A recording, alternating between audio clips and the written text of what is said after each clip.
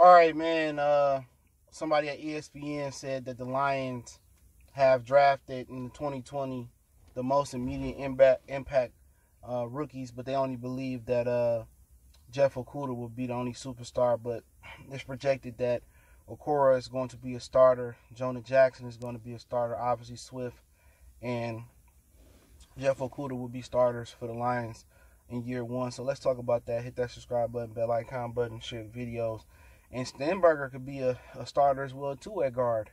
I've been putting emphasis on that the Lions could start two rookies at left and right guard, and if they ready and they beat out Joe uh, Joe Dahl, Kenny Wiggins, and uh, whoever else out there, the kid from Wisconsin that we drafted undrafted last year, if they can beat them those guys out, and the Lions don't bring any extra help, wink wink, like Larry Warford at guard, then you can see the Lions legitimately put out two rookies on the offensive line and you could have a rookie basically getting starter carries and starter touches out the backfield. So the Lions could feature three rookies uh, next year, week one versus Chicago Bears in the starting lineup or playing starter like minutes. And on the defensive side of the ball, we know Okudah gonna start and Okwara could start as well too. So you may see a situation where the Lions, you know, first, second, third, fourth, and fifth round picks all, you know, the majority of them all could freaking start next year. And you know that's what you want. You want impact. You know right away. You want guys that's gonna get out there and that's gonna learn the game and that's going to uh, produce. You know, and does that say anything about the Lions' current roster? It says something to a certain extent because you just drafted Kerryon Johnson two years ago, Tyler Johnson last year, and the rookie can come eventually, or eventually, and, and take that spot. So that's letting know that you really can't draft, and you got rid of Darius Slay, put Okudah in there Okwara, we need as much pass rush as help. So this lets you know the roster just wasn't up to par. But this is what the draft is for, and I believe that a lot of these dudes gonna have impact, and they're gonna get better as it goes.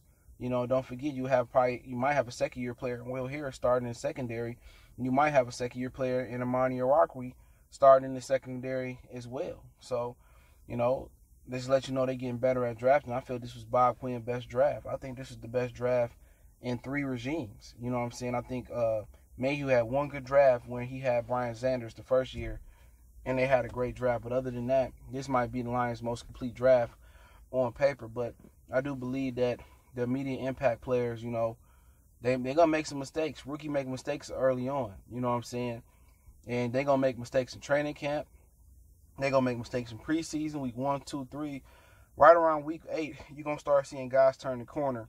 And if the Lions able to get starter production out of these guys, then you know that just open up the cap space to bring in better guys. So down the line, but I do believe that you know they got about four or five starters that's going to start unless they bring in some more help from you know free agency. You know what I'm saying? So you know, kids question should they bring Mike Daniels back or should they go out there and sign Marcell Dareus um, to help in the front? And I believe so. You know, you just bring those guys in to be relief players to relieve Danny Shelton and to relieve Da'Shawn Hand every now and again, but I see the I see the talent. You know, I do think they have the most draft ready guy. They drafted the most draft ready guys in the league, and some other guys that made the list was Baltimore, Denver, and there's a few other teams in the article I'll drop in the description. But you know, Baltimore always draft well. Denver drafted a whole bunch of help for Drew Lock, and they got to keep up with the Kings of the AFC. Uh, was the AFC West with the Kansas City uh, Chiefs? So they got to keep up with those guys. But I do think the Lions got a lot of impact ready guys um, day one ready guys. Just go out there and do well. And obviously, we expect Jeff Okudah to go out there and be immaculate, but he will make mistakes too. He will get beat. He will get called for holding and pass interference, and you know he will learn. But you know, really should be concerned about a lot of the year two guys going into um, year one guys going into year two.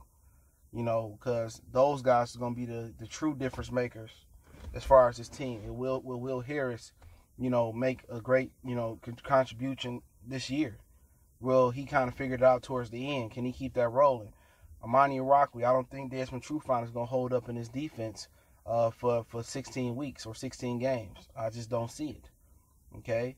Uh, Tavai, you know, Reggie Ragland, he really, he an okay guy. He a good one and two down, first and second down middle linebacker. But in Jarrad Davis, we didn't see what he got.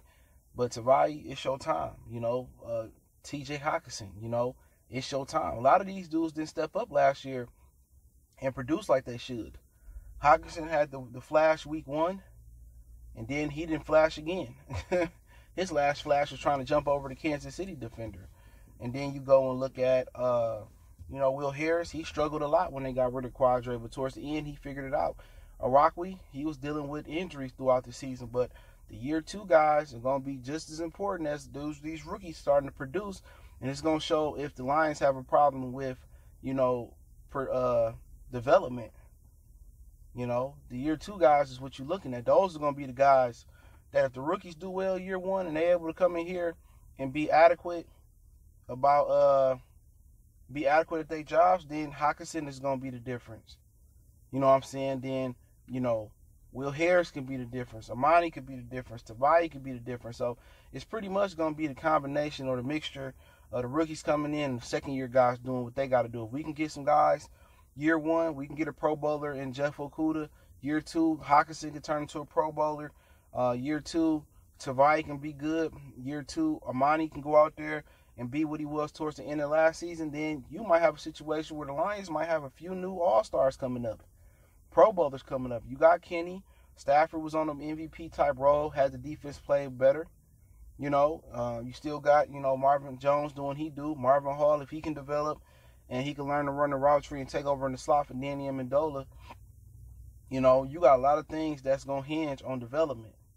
And over the course of time, the Lions haven't been able to develop the Bill Bentleys, the Alex Carters, the, you know, Ryan Broyles, the Titus Youngs. They haven't really been able to de- or develop them the Ameer Abdullahs and get the best out of them. The Boss Baileys of the world. The, you know, you keep going on and on with the guys that they drafted over, over the course of time.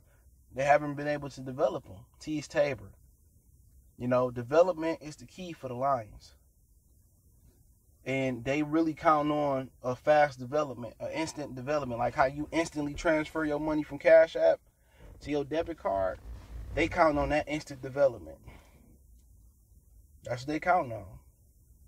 They count on the instant development of the, the, rookies they, they drafted that they need to start and play prominent roles, and then they they they hoping on the development of a lot of two year two guys. And what's gonna make it hard for that is Mike Tomlin said it wouldn't be fair if the all the facilities don't open up at one time. If some get to open and some don't, and with Gretchen Whitmer, you know, uh, playing hardball with the stay at home order, the Lions would be one of the last uh, uh, facilities to open up, right along with the New York teams as well too, that play in Jersey. So it's got to be fair to open up all these you know facilities at once, but we know life isn't fair. But in my opinion, I definitely want I definitely would like to see um, them you know have a full off season and be able to get in there and teach these guys what they need to know and kind of knock off the rust and knock off you know, the bad tendencies and stuff of that nature. So um, the Lions pretty much they play off hopes and Matt Patricia and Bob Quinn, you know, a tenure here on getting extensions and you know playing out their contract hinges on year one and year two player guys. Think about it. You know what you're gonna get from Stafford if he's healthy. Your three veteran receivers, you know what you're gonna get. Jones, Golladay, and Amendola. All if these guys are healthy. Ragnow, you know what you're gonna get. Decker, you know what you're gonna get. A good pass blocker, but not a good run blocker. On the defense, you know what Hand can bring when he healthy. Flowers gonna bring about seven sacks, eight sacks. You know, you know what you're gonna get out of Jamie Collins. You know what you're gonna get out of Christian Jones. You've been getting the same shit out of him every year. Coleman, you know what you signed up for with Trufant. You know what you signed up with with Tracy Walker. So you know you're really looking at Will Harris. You you're really looking at those those those Amani Oruwariye, the um, the Tavais, the the Hockensons. You know nobody really speaking on Hockenson enough if Hockenson can come out there and produce, this offense has a different dynamic. Amendola becomes that much more, you know, free to do what he want to do and, run, you know, the complete route tree. And Golladay gonna see a lot of one on ones. Johnson and Swift gonna see a lot of one on ones out the backfield, and Marvin Jones gonna see a lot of balls. So you know, to be honest, the blocking, the running game, and then whatever you know, if Hockenson can have the year one and year two jump that sorry my neck George Kittle's had, you looking at you know you looking at the Lions offense being that much more potent. If they can get the run game and they can run block and protect Stafford and they get that out of Hockenson, um, the Lions offense should be able to average 30. You know what I'm saying? But if it was a fifth, we all be drunk. The chances of all that happening simultaneously is probably slim to none. And the chances of all this happening and the Lions developing rookies like with little or no training camp and OTAs and mini camp and them being virtual, and then the chances of, you know, the year two guys developing is slim to none. The Lions haven't really developed a lot of their middle round guys over the course of time. But hey, let me know what you guys think about the video. I'll drop the article link in the description. Don't forget me on Facebook, Instagram, Twitter. Appreciate everybody who check who checking in. You can always reach out to me there if you have business question, inquiry, sponsorship, video request, want to make a donation to the channel. Cash App, PayPal description one time for the one time. Y'all know what the business is. We gone.